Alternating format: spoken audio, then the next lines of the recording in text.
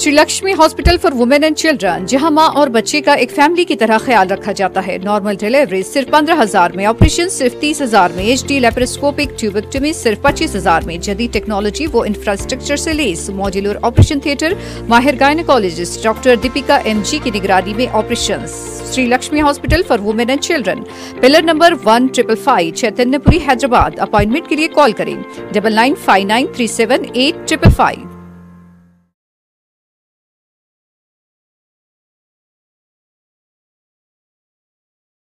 ले सकते हैं और वहाँ तक भी पहुँच सकते हैं। वरना ये जो बातचीत होगी है एक ऐसे माहौल में कि आप हल्ला से इंटरेक्शन सहमति के आज थोड़ा सा पहले आप आ जाए तो मीडिया के दोस्तों से भी आपकी खासतौर पर मुस्लिम सहाफ़ियों से, चाहे वो किसी भी मीडिया हाउस के अंदर काम तो असल वजह ये है कि मुस्लिम सहाफ़ियों की जो जिम्मेदारियाँ हैं मौजूदा हालात में वो बताना भी पेश नज़र है और फिर खुद जमात इस्लामी हिंद क्या काम कर रही है मुख्तलिफ़ मैदानों में और उसके लिए बुनियादी तौर पर ये पूरी उम्मत का मुश्तरका नज़र है चूँकि उम्मत इस काम को अंजाम नहीं दे रही है तो हम उम्मत वालों के दिन के बगैर नहीं हो सकता यहाँ पर जो अक्सरियत पाई जाती है वो अक्सरियत खुदा ने वतनी भाइयों और वतनी बहनों की है तो जमात इस्लामी में दावत का काम किया जाए उसके लिए उसने सबसे पहला बिना तकलीफ़ मज़हब लोग की जमात हर कोई यही बोलता है कि भाई तमाम अपना तो बहरहाल ये उनका काम है लाल उनके लोगों का कि वो हमारे हालात पर अपनी अखलाकी बुलंदी का सबूत कितना देते हैं या अपनी ज़रूरत का सबूत कितना देते हैं लेकिन हम ये समझते हैं कि हमारे मुल्क करने के लिए बाहर के लोगों की तरफ़ देखें और ठीक है, उनकी अपना की ज़िम्मेदारी बकिया भी लोगों ने बयान भी किया दबाव में भी आए। बहुत से लोगों ने यहाँ के बड़े जिम्मेदारों से हाथ मिलाने से मिलकर हल करने की पूरी ताकत और कुत रखते हैं और मुझे लगता है कि हमें कुछ वो लोग हैं जो इस्लाम के मानने वाले नहीं हैं मुझे इस्लाम नहीं पहुँचा। लेकिन बहरहाल तो हमारे के बाशिंदे हैं और हम सबका ये गोल है। तो हम ये समझते हैं कि इस मुल्क के मसाइल को हम सब मिलकर हल कर सकते हैं। और हमें अपने तौर पर इस मुल्क के मसाइल को हल करने की कोशिश करनी चाहिए। मुसलमानों के लिए कोई फ़िक्र की बात नहीं है, बल्कि ये तमाम मुल्क के बाशिंदों के लिए बहुत बड़ा चैलेंज है। और हम समझते हैं, जमात इस्लामी हिंद ये समझती है कि इस मुल्क को गलत राहों पर जाने से रोकने की कोशिश करना हम सब की ज़िम्मेदारी है। मुसलमानों की भी ज़िम्मेदारी है और 140 करोड़ आवाम की भी ज़िम्मेदारी है कि हम इस बात को लोगों पर वाजे करें कि ये जो एजेंडा नफ़रत का एजेंडा है, समाज को तकसीम करने का एजेंडा है ये इस मुल्क को, इस मुल्क की तरक्की को बहुत ज़्यादा नुकसान पहुँचा रहा है और आगे भी पहुंचाएगा। जमात इस्लामी हिंद ये चाहती है और कोशिश कर रही है कि मुल्क के मुख्तलिफ़ मज़ाहब के लोगों के दरमियान आपस में मेल जोल बढ़े, उनके दरमियान तबादला ख्याल के ज़्यादा से ज़्यादा मौाक़े हासिल हों और बुनियादी जो इश्यूज़ हैं, जिन पर हम सब का इत्तफ़ाक़ है, ये मजहबी लोग आपस में मिलजुल कर आ, समाज में कोशिशें करें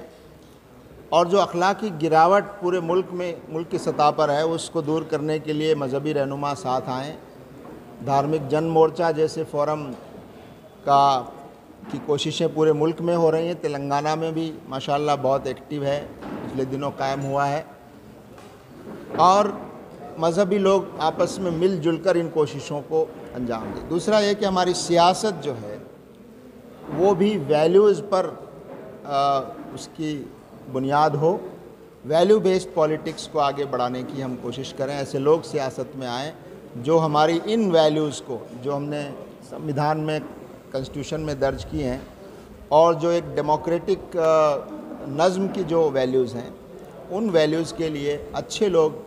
आ, मुल्क में आगे बढ़ें और सियासत में आगे बढ़ें ताकि मुल्क अच्छे लोगों के हाथों में हो अच्छे लोग इस मुल्क को आगे लेकर जाएँ। शुक्रिया। चलिए, आप शुरू कीजिए। बसमीम आज जमात इस्लामी हिंद हलका तेलंगाना के मरकज़ में सहाफ़ी हजरात के साथ, जर्नलिस्ट के साथ, यहाँ एक इनफॉर्मल मीटिंग हुई। आपस में तबादला ख्याल हुआ। और मुल्क और मिलत के सामने जो इस वक्त चैलेंजेस हैं, उन पर गौर फ़िक्र हुआ। जमात इस्लामी हिंद इस मुल्क में क्या तब्दीली चाहती है, इन हालात का कैसे मुकाबला करना चाहिए, जमात मुख्तलिफ़ मैदानों में क्या कोशिशें कर रही है, इस सिलसिले में कुछ बातें साफ़ी हजरात के साथ शेयर की गई। एक बात तो ये अर्ज़ करनी है कि इस वक्त हम आज़ादी के 75 साल का जश्न हमारा मुल्क मना रहा है। इसमें कोई शक नहीं है कि हमने बहुत से मैदानों में तरक्की की है, मादी तरक्की की है, साइंस और टेक्नोलॉजी में तरक्की की है। हम स्पेस पावर बन गए एटॉमिक पावर बन गए हैं। लेकिन साथ ही ये भी एक सच है, हकीकत है कि हमारी जो दस्तूर और आइन की जो वैल्यूज़ थी, जिसमें मसावत इक्वलिटी फॉर ऑल जिसमें फ्रीडम आज़ादी हर शख्स को अपने मज़हब की, अकीदे की, नज़रिए की आज़ादी, और सबके लिए इंसाफ और जस्टिस और आपस में मोहब्बत और भाईचारा, ये जो वैल्यूज़ थी, इन वैल्यूज़ को ख़ासा नुकसान पिछले आठ दस सालों में पहुँचा है और इस वक्त पहुँच रहा है। और इस वक्त मुल्क में एक नफ़रत के माहौल को बढ़ाने की कोशिश हो रही है। नफ़रत का एजेंडा आगे बढ़ाया जा रहा है। सियासी मकसद हासिल करने के लिए और एक ख़तरनाक एजेंडा जो इस मुल्क के लिए सबसे ज़्यादा हम ख़तरनाक समझते हैं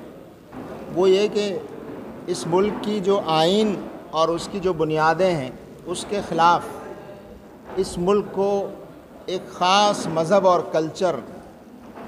का मुल्क बनाने की कोशिश की जा रही जी आज की मीटिंग सवाल आप थोड़ी सी तफरी करें ढाई ढाई तीन मिनट।